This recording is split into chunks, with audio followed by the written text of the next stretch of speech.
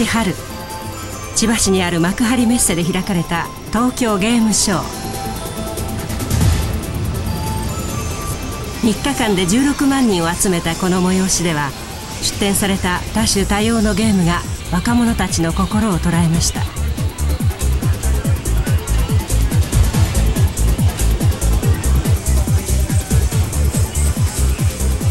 新しいゲーム機が発売されるたびに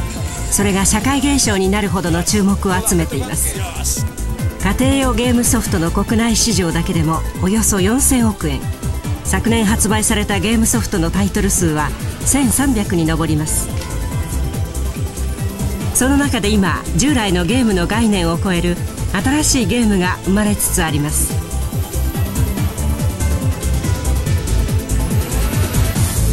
最先端のデジタル技術を駆使したゲームとはどのようなものなのでしょうか。そして現代のデジタル技術の発達はゲームの世界に何をもたらしつつあるのでしょうか。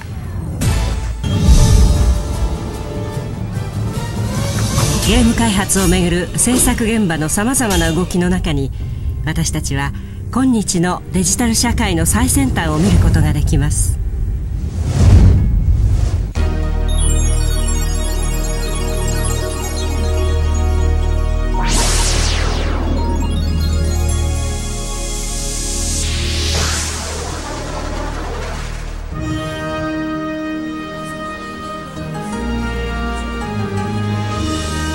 今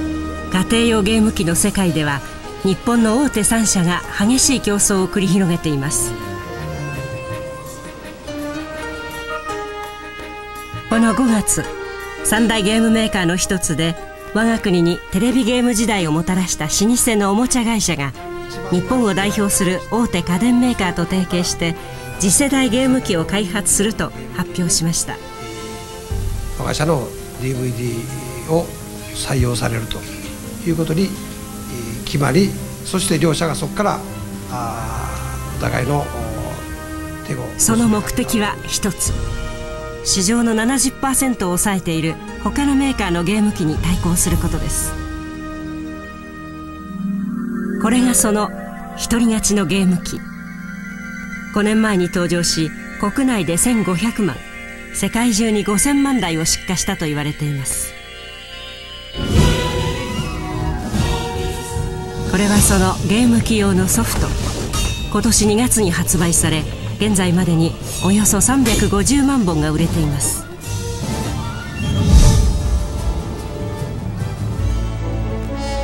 巻き返しを図るもう一つのゲーム機メーカーも次世代の高性能ゲーム機を発売しました。このようにゲームをめぐる攻防は過熱する一方です。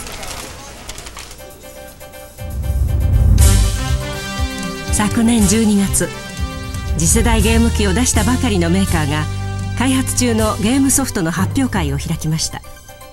社運をかけたこのソフトはゲームの常識を覆すものだといいます。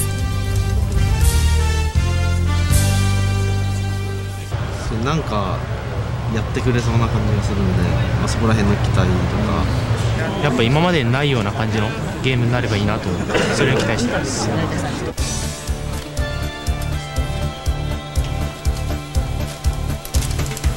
今日の発表会の主役鈴木優さん41歳。開発中のゲーム制作の中心人物です。これまで数々のゲームを作ってきた鈴木さんは一部のゲームユーザーからは競争的な人気を集めています。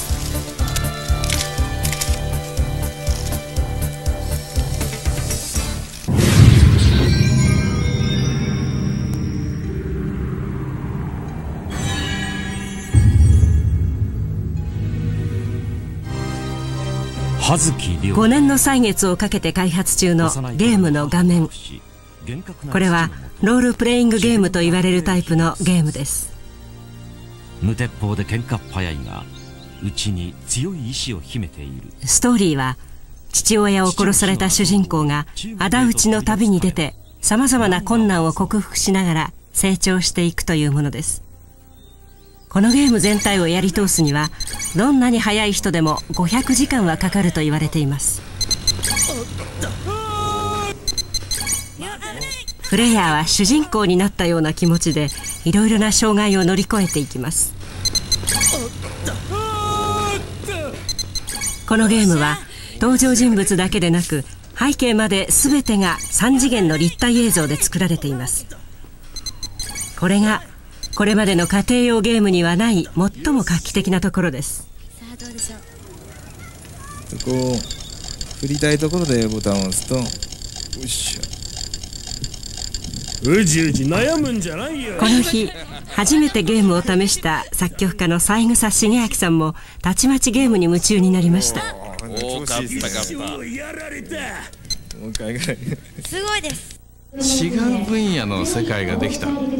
つまり映画でもないゲームでもない新しいメディアができたというふうに位置づけられる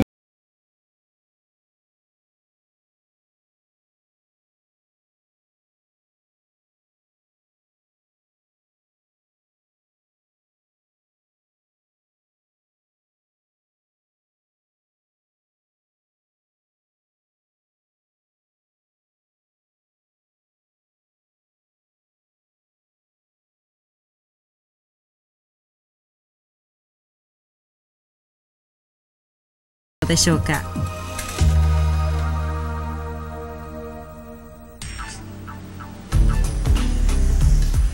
私たちはそのゲーム開発の様子を6ヶ月にわたって取材しました。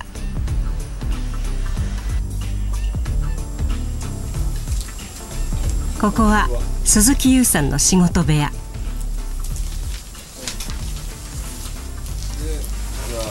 このゲーム作りの司令塔いわば頭脳にもあたりこれまでテレビカメラが入ったことはありません。競争が激しいゲーム業界では秘密保持に特別気を使うからです。このモードに入っちゃってるじゃない。あこれがなくなりました。ごめんなさい。あのアイコン出すための今集まっているのはデザインやプログラムなど各部門の責任者たちです。週に1回彼らはこの部屋に集まり鈴木さんから細かな指示を受けます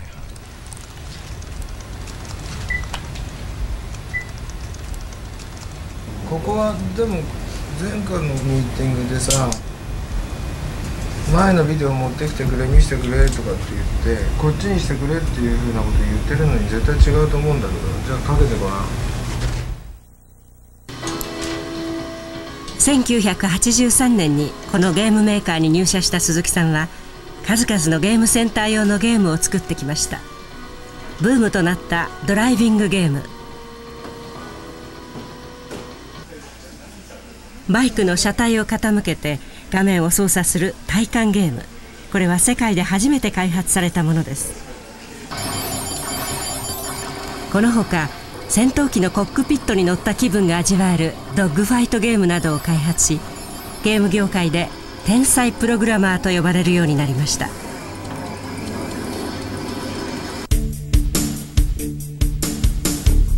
アメリカのスミソニアン博物館。人類の生み出した科学技術の成果が集められたこの博物館には1993年に鈴木さんが発表した格闘ゲームが永久保存されています。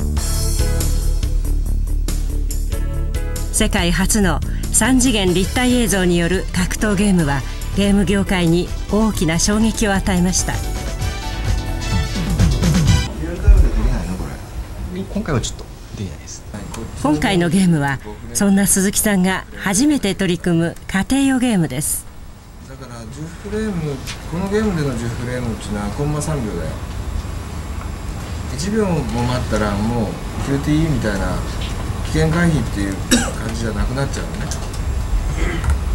あのここらで一区切り今までを全て振り返って今までの自分のいろんなチャレンジを一箇所に集めて何かを作ったらどうなるのかなっていうことをやってみたいんですよ。あの自分に対するいいテストですよね。あの自分の力がどこまであるのかっていうのをあの正確にジャッジするにはおそらくあのシェムみたいな現実路線に近いものが一番いいですよね。鈴木さんの言う現実路線。それはリアリズムを徹底的に追求してゲームを作ることを意味しています。その現場はどのような仕組みで動いているのでしょうか。私たちは特別の許可を得て開発中の現場を見せてもらいました。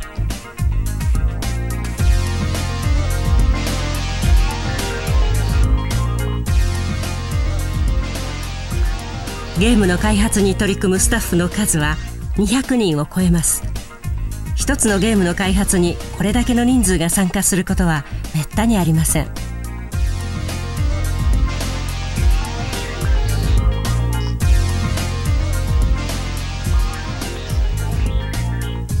ゲームを形作る映像やプログラムのすべてをコンピューターが作っていきます。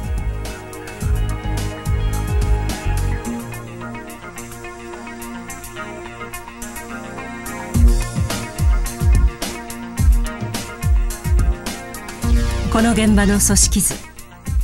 ここでは企画シナリオデザインプログラムサウンドなどの各部門が鈴木さんの統括のもとに有機的に活動し一本のゲームを作っていきます。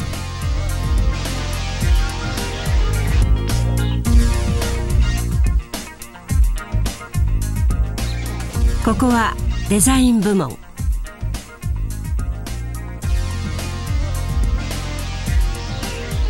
ゲームの登場人物。風景街角といった背景小道具など全ての映像をここで作りますがその数は数十万に及ぶといいます。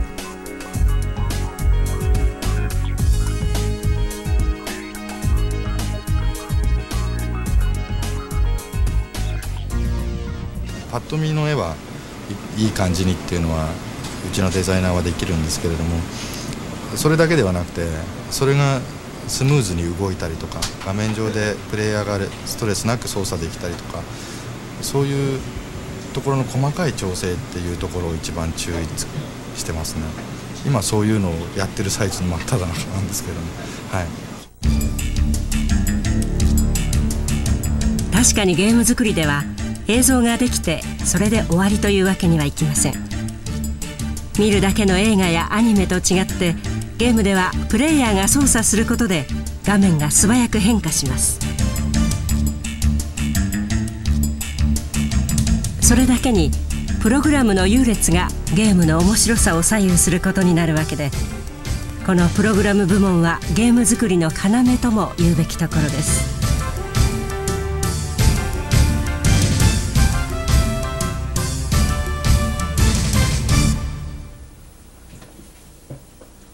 開発現場で作られた映像は週1回のミーティングでスタッフに披露され鈴木さんの厳しいチェックを受けます。後ろ下げてあのボリューム感が損なわれなければもっと良くなるのかな。その基準はあくまでリアリズム。本物らしさがとことん追求されます。量はどうして？俺も親父をこの日鈴木さんは焚き火の表現に注文を出しました。薪の高さからどれぐらい起きるのかとかさ明るいところと暗いところの変化が激しすぎるから、はいちょっと柔らかくやって、まあ、ちっちゃくなったらちっちゃくなったらちょっと振り付けてやるねね。片方だけ、うん、ちょっとだけ振り付けてやる。そっちの方がいいだろうね多分。はい。開発現場では直ちに焚き火の手直しが始まりました。で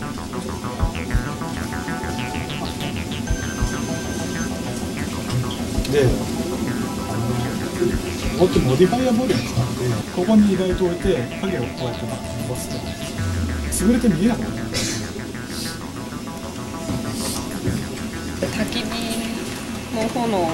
ええ炎の影響を受けて洞窟の壁に影が伸びるようにしたいんですけど。まだちょっとこれ仮仮のステージなんでうまくライティング今今は具体じゃあライティングの配置配置を決めて影とかいろいろ作ってるんですね、こちらでは登場人物の顔が描かれています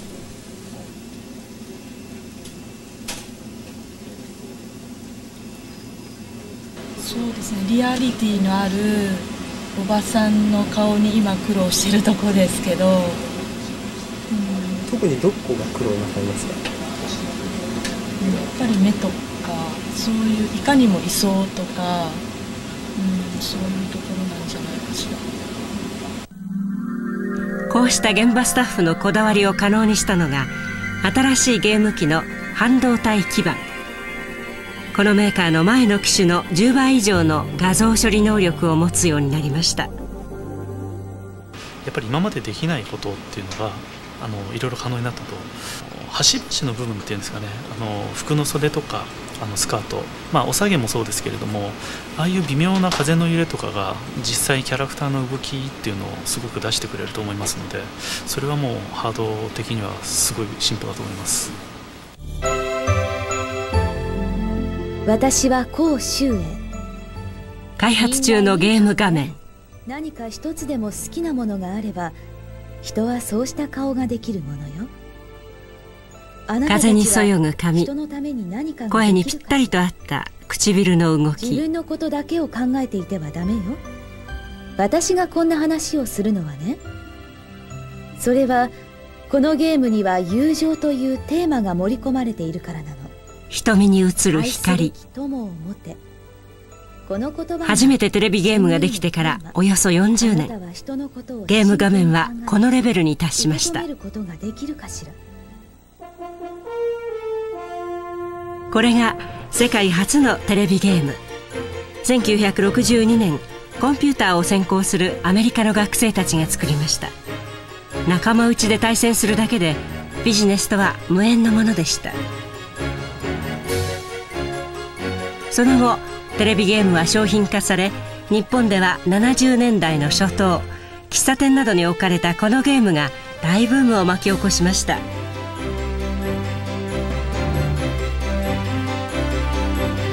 次いで83年に登場した家庭用ゲーム機。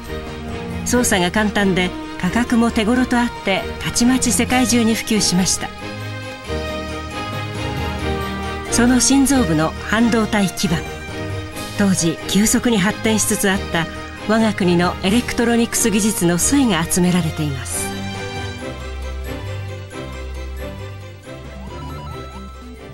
しかしこのゲーム画面は2次元の平面のみで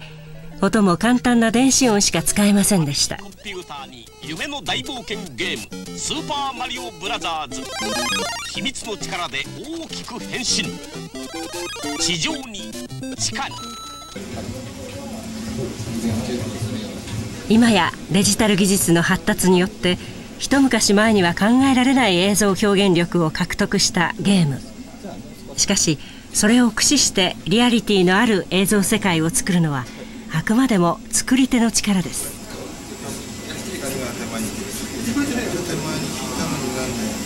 この日鈴木さんは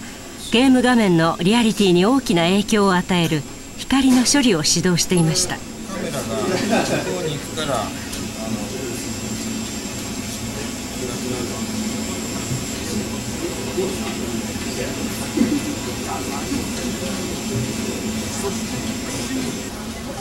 顔に当たってる光が例えばこっち来たり後ろ回ったりしてくれるのが一番光が変化するね。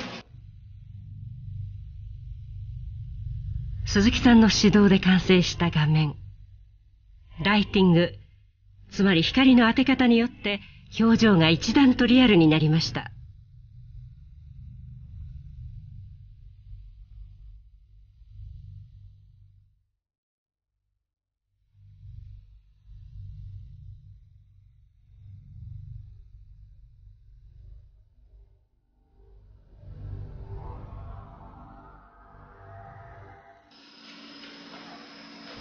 リアリズム。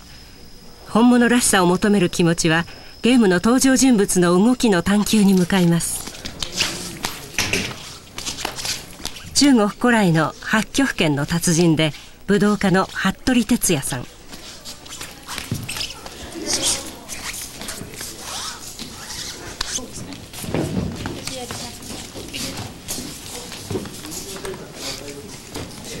ただきます。測定用のセンサーを服部さんの体に取り付けます、はい、ここでお願いします。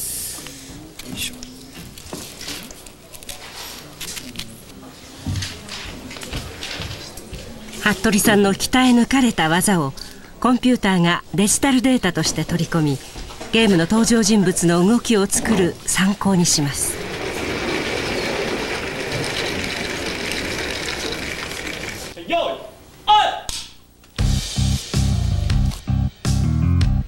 このモーションキャプチャーという技術は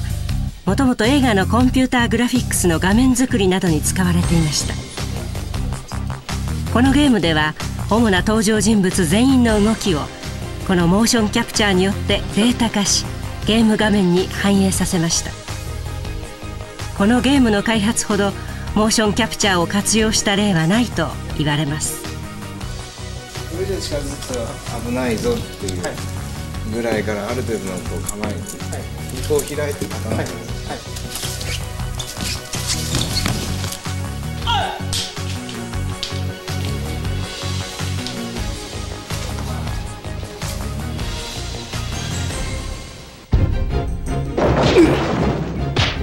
こうした膨大な作業を経てゲーム画面上にリアルに再現された格闘シーンはアニメーションや映画に負けない動きをも獲得しました。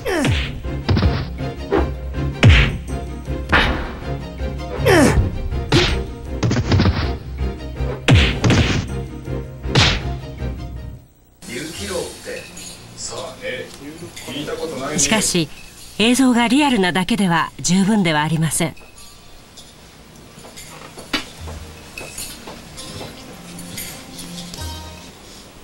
ゲームではプレイヤーが登場人物を自由自在に操らなければならないのです。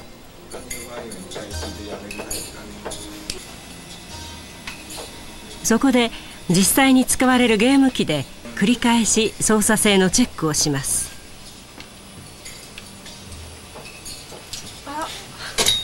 例えばここのエリアで得られたデータをもとに鈴木さんが手直しの方向性を決めていきます。ここので出てるあのベクトルがあるじゃない。ここのベクトルも同じベクトル示すじゃない。2ポイントだったらベクトルが出るじゃん。それが1個先でこっちのベクトルと取ってもいいんだよ。これと同じベクトルがここで出るわけで。でこのベクトルに対しての例えばプラマイ45度ぐらいまでは進行方向に行く意思があると。こうした作業を経て開発されているゲームの画面。プレイヤーは簡単なボタン操作であたかも現実の街を動き回るような疑似体験を得ることができるのです。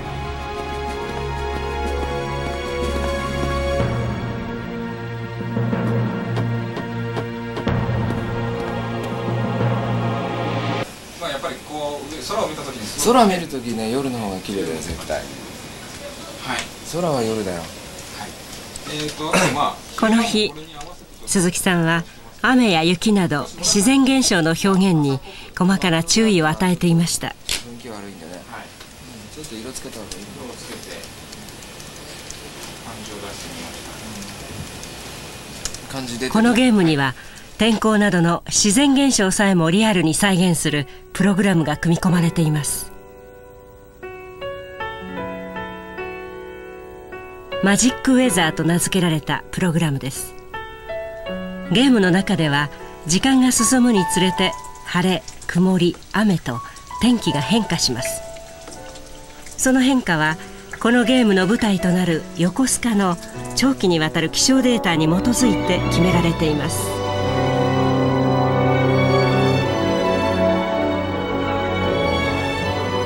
実際のゲームでは例えばある日が晴れで次の日が雨だとします。するとプレイヤーの進行具合によって遭遇する気象条件が異なってきます。ゲーム進行の早い人は晴れの日の朝にある家を訪ね逆に進行の遅い人は翌日の夜雨の中その家を訪ねることになるという具合です。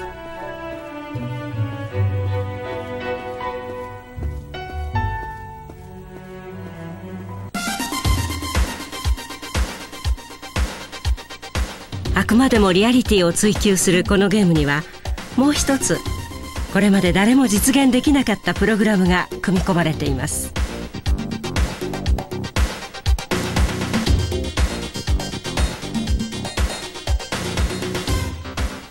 そのプログラムを作るため企画を担当するセクションは横須賀の街を徹底的に取材。路地裏に至るまで克明に調べ上げました。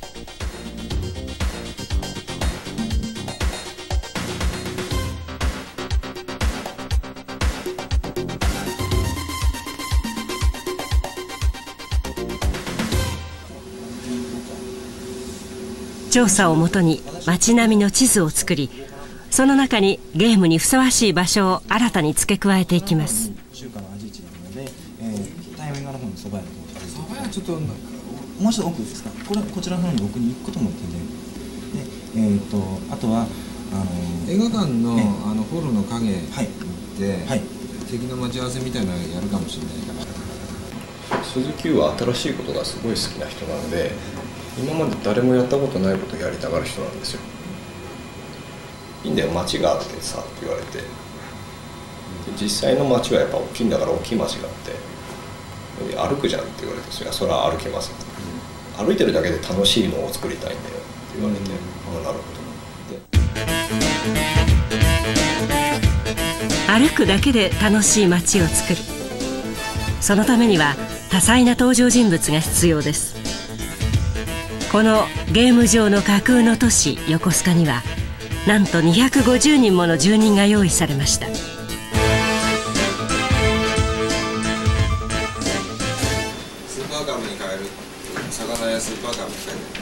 そしてゲームの登場人物の予想される行動パターンを洗い出しそれぞれの役割が決められます。左のアクションアイテムでさ右側が今やられてる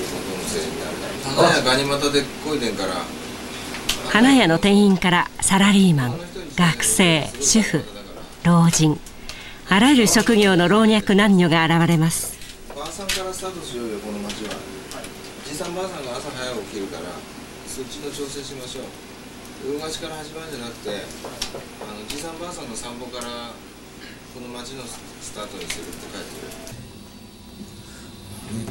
250人もの登場人物全ての行動パターンを作り上げ一人一人の一日のスケジュールが決められました。これが周期のプログラムと呼ばれる画期的な仕組みです。一人一人の生活のパターンがちゃんと作られてるってことですよね。やりたいわけですよ。ええ、うん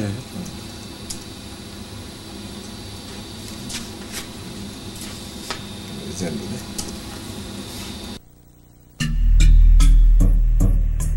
それでは登場人物の一人タバコ屋のハルさんの一日の行動を見てみましょう。実際のゲームではプレイヤーの判断やゲームの進み具合でハルさんとの出会い方が変わってきます。例えば歩いてきたハルさんに会うかタバコ屋にいるハルさんに会うか。それとも無人のタバコ屋の前を通り過ぎるか。このようにハルさんとの出会い方は無数にあります。その上このゲームで出会う可能性のある人物は250人その無数の出会い方がまたゲームの進行に大きな影響を与える。つまり私たちはこのゲームの中で日常の生活に限りなく近い体験をします。そしてプレイヤー一人一人の独自の人生を歩むことができるのです。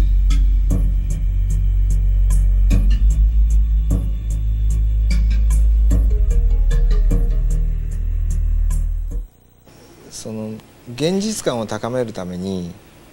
そのやっぱりそのクエストしていく中で町の人たちがね生活感が欲しいんですよその町に。で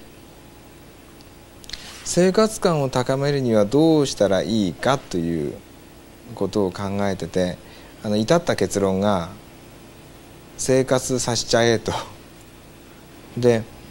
例えば250人のキャラクターがいた時にそのプレイヤーによってはもう全く最後まで合わない人もいるんですね。ですからあのただ会った時には少なくとも挨拶ぐらいを用意しなくちゃいけないでしょう。だからそういうことを考えるとあのデータの分量的にはですねあの2時間の映画の40本分ぐらいのシナリオの量になります。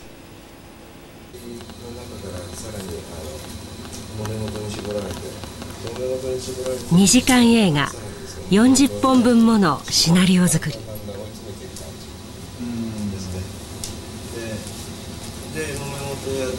当事者を絞り込んでいくっていうね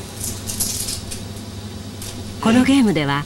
プレイヤーの判断次第でストーリーが枝分かれしていくために用意しなければならないセリフだけでも膨大な量になります。どうしたはい、ようどうした？結構中国人に聞いた後に、えー、とそのヤンにやっと出会えてでヤンヤンもしかもポーラを買わないとトークテンっていう情報が得られないんで。子供が喧嘩していて鈴木さんはこの作業でもリアリティのあるセリフや表現を求めました。子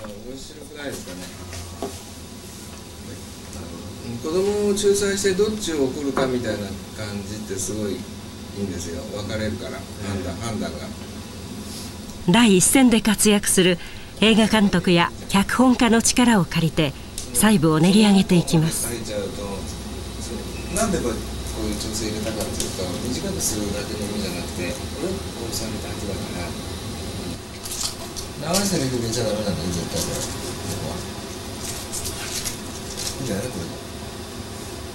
朝の10時から始まった作業はこの日も深夜に及びました。ほう。と か何度も何度も練り直されたシナリオ。すいません。おいらっしゃい。今日はどれにする？最近黒い服の男を見ませんでしたか？黒い服？ええ。スーツもネクタイも黒でサングラスをした。うーん。うちのお客にはいないな。そうですか。自然なセリフ回しがリアリティをより一層高めています。あの日黒い服の男たちを見ませんでしたか？それが何も見てないあるよ。ベッドルームを赤。このゲームの開発ではシナリオ作り以外にもその道の第一人者の知恵を集め細かなリアリティを追求しました。アメリカで建築を学びマンションや店舗など多彩な建築物を手掛けてきた滝本さんのノウハウも開発中のゲームに生かされています。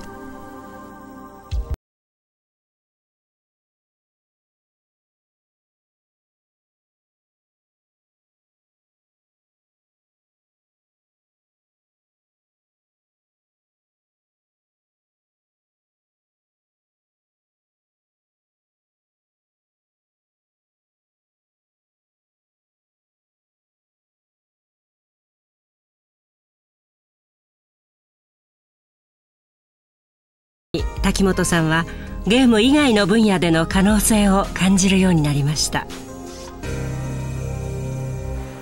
あれはあのいわゆる世の中に出る時はゲームとして出ますけれどもあれっていうのはやっぱりいろんな可能性が含まれてると思うんですよ。実際問題この通路に入っていって天井を見上げたらあそこの角からああいうふうに光が入ってくるよとかここに入って見上げた時どういうこういう屋根がこういう角度で見えるとかこう自分が主人公になってこう部屋をこう動いて挙句の果ては引き出しかなんかも開けられちゃうわけですからだからこの引き出しは奥行きが4 0センチの方がいいなとか3 0センチがいいなとかもうそうなったらこれはパーフェクトプレゼンテーションっていうやつでもちろん上物が立った時にほとんどクレームがないと思うんですよね。あの技術を例えば一つあって、えー、何かデザインのその、うん、コンペティションだとかですねそういったものに使ったらですねすごい勝率だろうなと思いますしまたうんそれだけで商売にもなると思うんですよね。パーフェクトプレゼンテーション屋さん というね商売になって。ゲーム作りが佳境に入った今年2月。対抗するゲーム機用の有力ソフトが発売されました。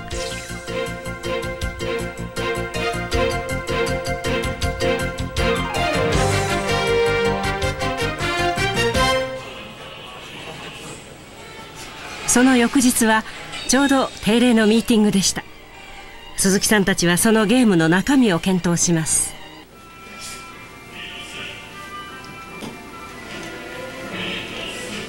ゲームのオープニング映像。ゲーム業界ではムービーと言われる画面で文字通り映画のように見るだけのシーンです。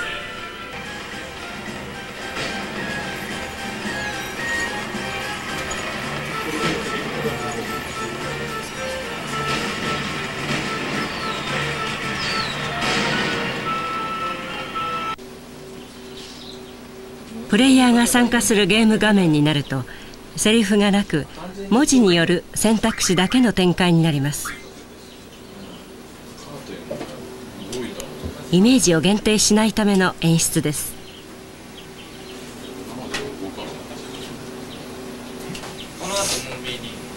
声は入ってこないの声はないです鈴木さんはこの新ソフトの映像の美しさに驚きながらもリアリズムにこだわる自分たちの姿勢を再確認する結果となりました。いいと見て参考にできるとこ参考にしていきましょうね。そういう見方だと思うんですよそれが一番向上するよ我々が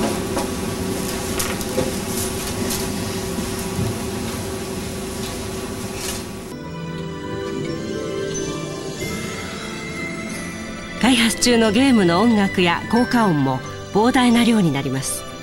ほとんどを社内のサウンド部門のクリエイターが担いました。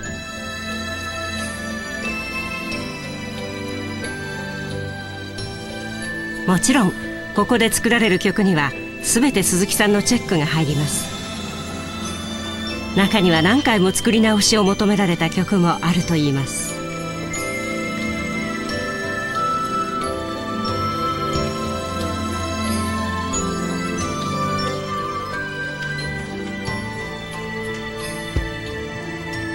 前は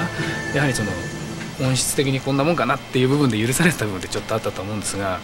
最近はそれが許されない。しかもあのそのまま例えば CD としてレコーディングしたものがそのまま流せるっていう状況でもありますので、まあ、それに引きを CD に引きを取らないような音を作らなきゃいけないっていうなんかそういう、まあ、プレッシャーというか あのそういうのはありますね。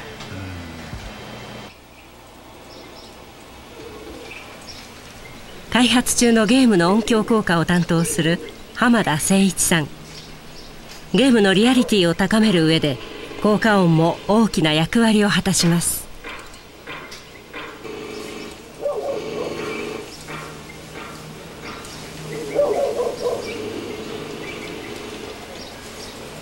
そういうまあ大通りからいろいろな車が入ってきたりするわけなんですが今ちょうどあの仮なんでここに車走ってませんが一応こう車の音響があります。まあ、このぐらいですね。で例えばこれを、えー、振り向きまして向こうに向かって歩きます。そうしますと必然的に後ろにある音は小さくなっていくんですね。そういう効果をシミュレーションしてます。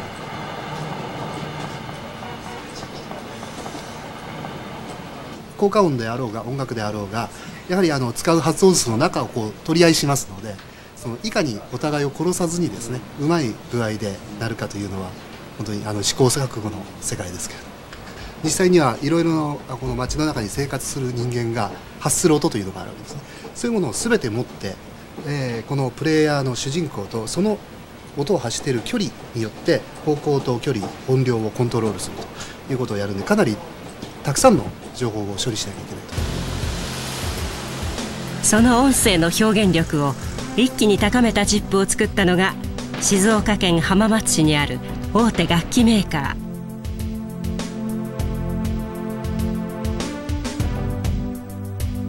現代のデジタル技術の開発はコンピューターによってさまざまな音を作り出すことを可能にしました。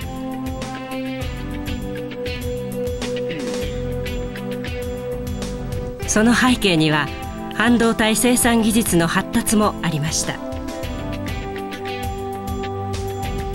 しかし鈴木さんたちのゲーム機に搭載するサウンドチップに対する要求は厳しいものでした。音の面でも生活する街を作り出さなければならなかったからです。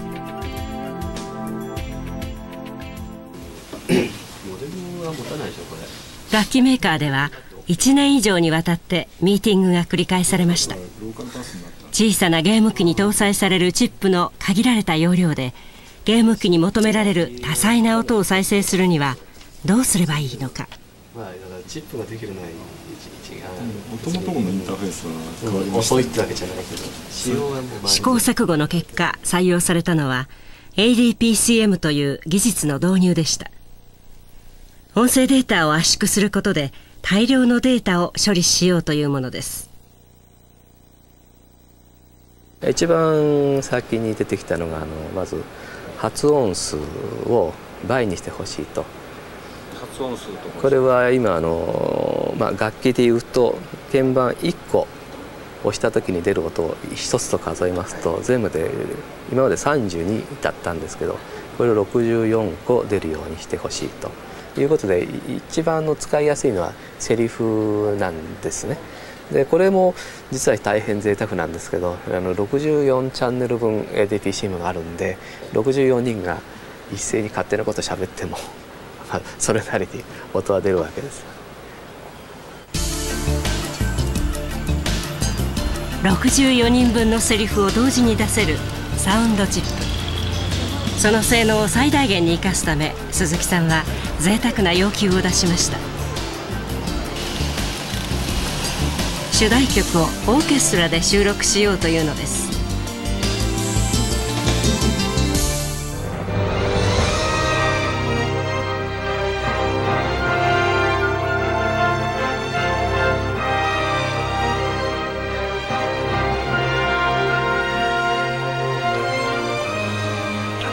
豊かなサウンドの支えがあってこそ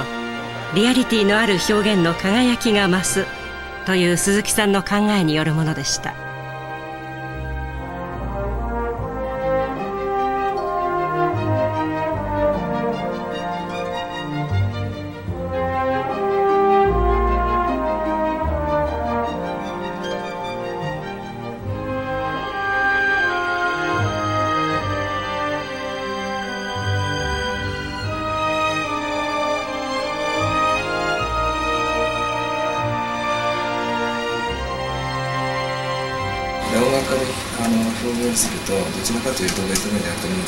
モーツァルトはあの王様かなんかに呼ばれて、今度言葉があるからその時に宮廷音楽を作ってくれって何ヶ月か前に言われてそこまでに曲を作って披露して、でその時にみんなが喜ぶもので、しかも自分の芸術性を半分混ぜるんですよね。アーティストっていうよりもあの職人なんですよ。職人さん職人っていうのはオーダーによって作るじゃないですか、だから僕はその職人タイプですよね。あのアーティストっていうよりもこだわり抜いた音と映像が組み合わされてゲームが次第に形を整えていきます。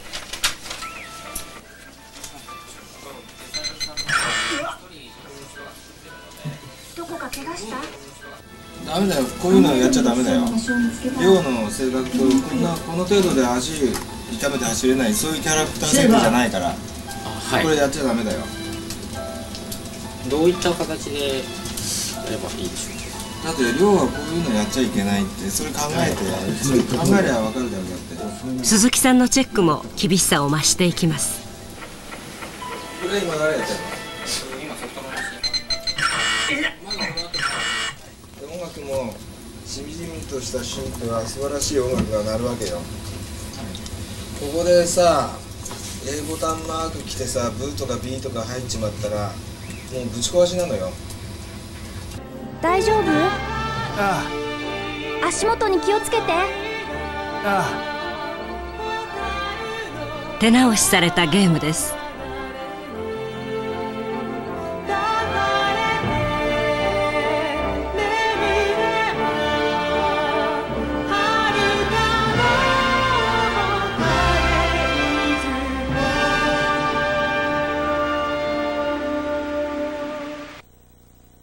そのもの東の凸国よりオープニングのナレーションを吹き込むヒロイン役の石垣葉月さん。若者姫し力いまだ知らず。かのみを滅ぼすアフレコの演出指導者にはこの道の第一人者を起用しました。ここでも鈴木さんはゲームの質の高さにこだわる姿勢を崩しませんでした共に荒れ野の道を行かん。長き物語は今始まれり。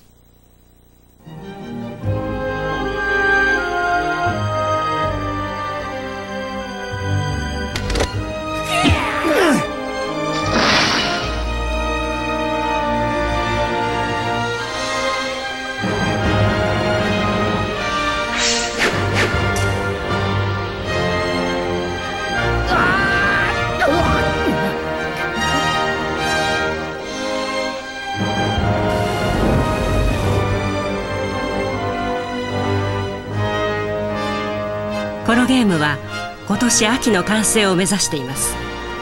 スタッフにとって一番気になるのは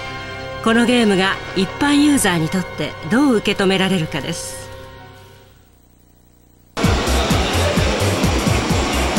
その試金石の一つとなったのが3月に開かれた東京ゲームショウです。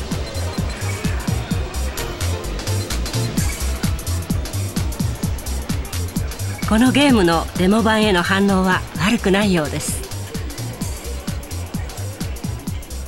グラフィックが綺麗ですごい簡単であの実際に自分が覚えてるみたいです。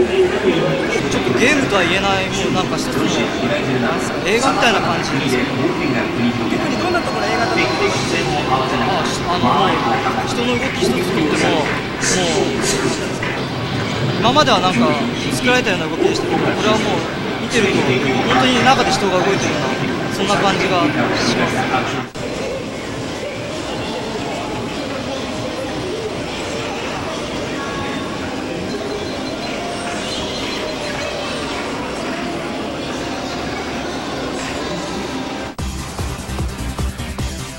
このゲームショーではもう一つ別のタイプのゲームが注目を浴びていました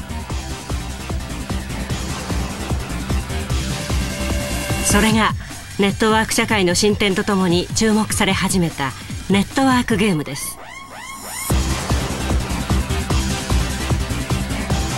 これは世界12カ国の人々が参加してのカーラリーゲーム。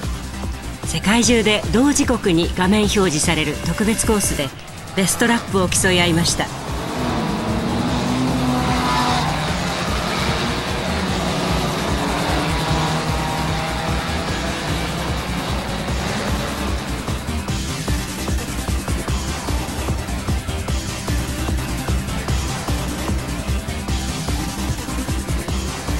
インターネットによって世界中の若者たちが国境を越えた瞬間です。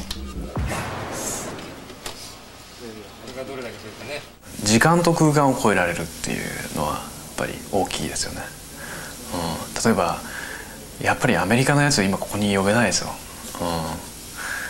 うん、でそういうことを考えると可能性はもうかなりあるなと。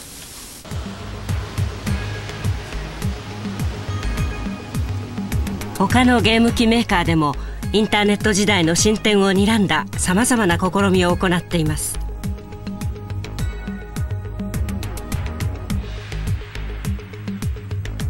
その一つがパソコンによるネットワークゲームの開発。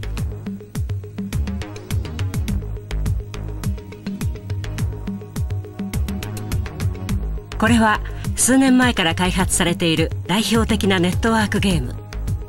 1日に最高100万件のアクセスがあったといいます。このゲームの仕組みは至って簡単です。ネット上のゲームサイトに自分の配下のモンスターを出動させカードゲームの要領で対戦します。自分が好きなように調整したモンスターたちが相手のモンスターより強かったら勝ちです。勝ち台詞や負け台詞を入力できるなど対戦相手とのコミュニケーション能力に優れておりこれまでの家庭用ゲームの強力なライバルになる可能性があります。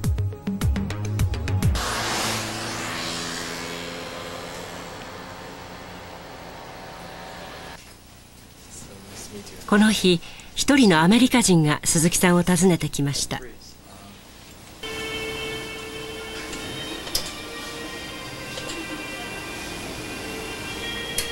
世界的に有名なコンピューターソフト会社でゲームも担当する重要人物です。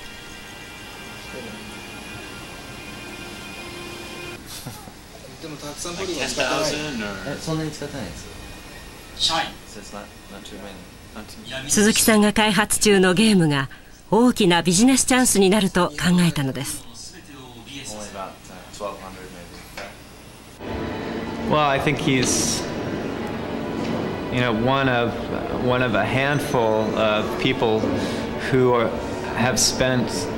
a decade or more experimenting in this new medium, this interactive entertainment medium, and they're really going to be the leaders that that take it forward and introduce it to to the broad audience. You know, gaming started as something a small set of people played, and it's grown and it's grown and it's grown till now. You know, like I said, it's starting to replace traditional media, replace TV to some extent, replace movies to some extent.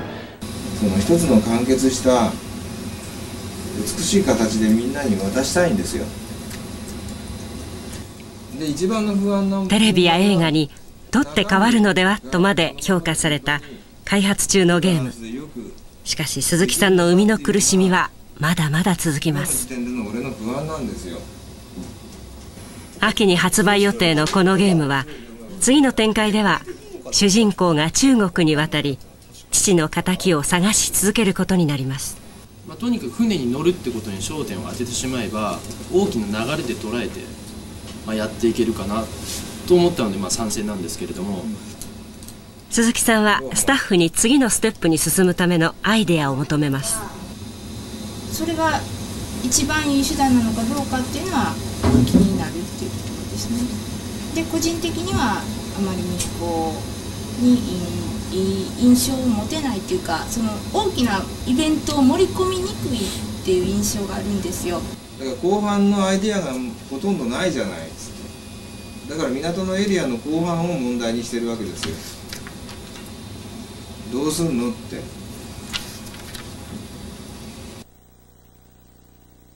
会議はスムーズに進まないようです今回これだけ時間かけた時にやっと見つけた一番の問題でしょうが今すいませんそっちはそっちで話してるのはいいけども少なくともそこに関わる人たちはその話を聞いて参加するとか意見を言ってあげるとかせにはあかんでしょうがなんか喋れっつってまともなことを。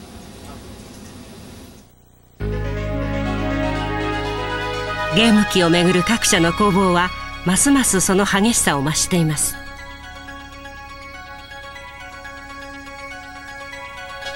3月対抗するゲーム機メーカーが国内有数の大手家電メーカーと組んで次世代のゲーム機を開発すると発表しました。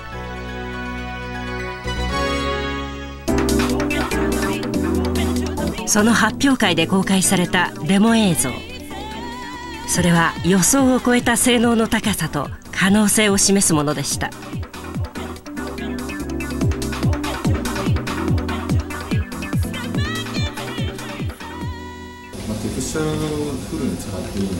発表の翌日。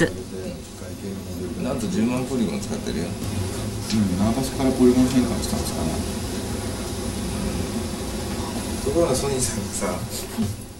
鈴木さんは新しいゲーム機に搭載されると言われるチップの性能を分析します。バカでかいチップ作ってきた。でワンチップすることによっておそらくこれでさらに23割上がっちゃうと思う、おそらくかける性能引き出すまで時間かかるんだよね2年目だね。常に競争相手を意識しながらのゲーム作り。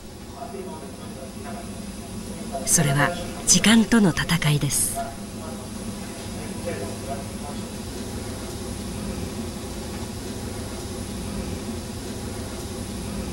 コンピューターを使って01の世界で数学物理を使って何かをしているわけなんだけどあの結局のところその作品からねその誰かにこう何かを伝えていく力っていうのがその作品の中にあるじゃないですか。その作品の中にその人に何かを伝えていく力感動であったり何でもいいんだけどその力が宿る時っていうのがあってそこは何かっていうと技術じゃないなっていうのはすごい思うの。だからやっぱり心を込めて丹念に作るっていうことしかないのかなって思いますよ。そうなっちゃうとそのハードの性能差っていうのはどっかで完全に技術の差だったりするんだけど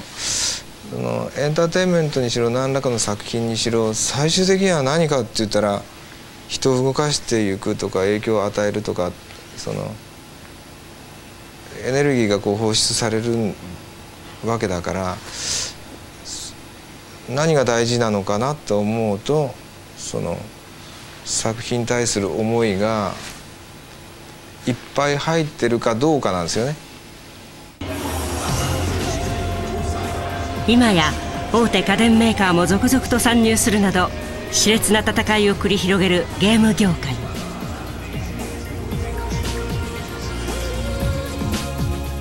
半導体技術の発達とネットワーク社会の進展はゲームを従来の概念を超えた広がりと表現力を持つまでに進化させました。